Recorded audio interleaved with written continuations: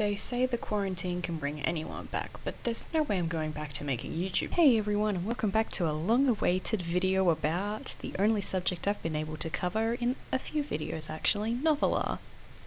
This one is going to be a little bit more scripted than usual because I'm trying out new things, kind of more along the lines of what Petsima Julie's doing because it just sounds better. And so, without further ado, Novilar is a browser pet game that involves exploring, crafting, competing, breeding, and dress up minigames. While not the most popular pet site on the scene, it certainly caught and kept my attention for a couple years, and I'm now pretty invested in its community. About two months ago, ownership switched hands from digital to Terris, our local ferret.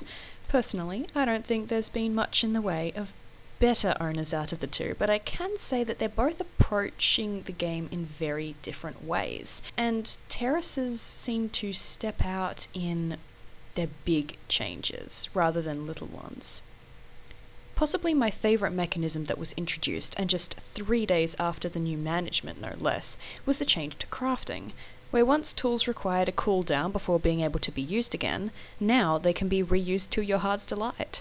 This makes crafting a whole lot more immediate, which is useful for daily quests handed out by the Guardians, hence, it makes getting money from the Guardians simply so much easier. Shortly after this, contests sprouted up, and there was a small adjustment to the terms and services, which I'm sure all of us read through, and the prices were dropped for energy bars.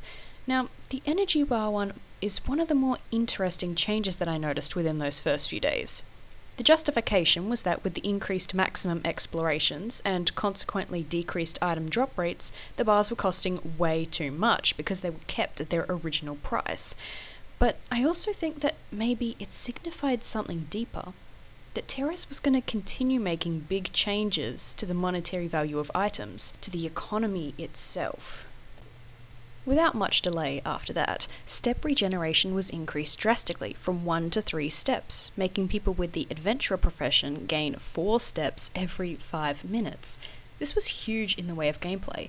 It increased the amount of times we could go back and explore, which meant an increase in the incoming cash, both from random encounters, from selling the resources you collect, and from selling the pets you collect and their children another decrease in the value of a part of the economy.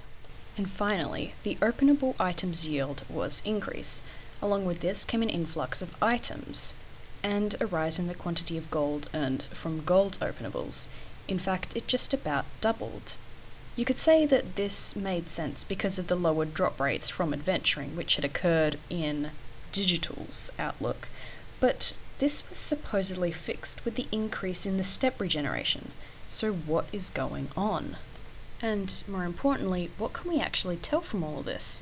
Well, the game has certainly been made easier in the sense that we've got an increase in cash inflow, but cash outflow has remained pretty much exactly the same, or even lowered itself. So it's become easier to unlock benefits and purchase items, increase your territory slots, this has also opened up a greater trading system because there are more players willing to spend money to acquire items rather than waiting for their exploration steps to painstakingly recharge. Personally, I think it's only been an improvement to the game, but I'm curious to see how it plays out as we progress further into the future. What about you? Do you play Novilar, and if so, what are your thoughts on the measures taken to increase this? I'd love to hear about it in the comment section.